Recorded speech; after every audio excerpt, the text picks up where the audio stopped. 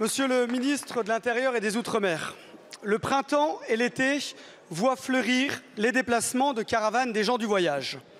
Des aires d'accueil ont été payées par les collectivités et donc par les impôts de nos concitoyens pour les accueillir. Même sans cela, et malgré les efforts faits, nous constatons encore toujours des implantations de manière illégale et de manière brutale chez les particuliers ou sur des terrains communaux. C'est le cas euh, dans le Nord, chez notre collègue Guy Bricou, comme c'est le cas depuis hier chez moi, dans les Vosges, dans la commune du syndicat. 200 caravanes forçant leur installation dans le champ d'un agriculteur qui venait juste de finir de le faucher.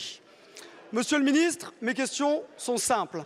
Comment expliquons-nous à nos associations qu'on leur refuse une manifestation parce qu'elles ont oublié euh, un simple papier?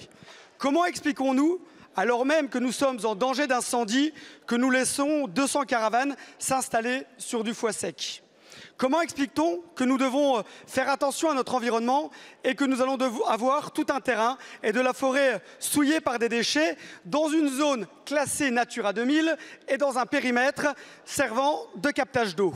Comment expliquer à nos collectivités que euh, dans cette assemblée, tous les jours, nous les soutenons et laisser les mairies, celle du syndicat dans ce cas précis, et son maire, Pascal Claude, impuissants face à cet envahissement?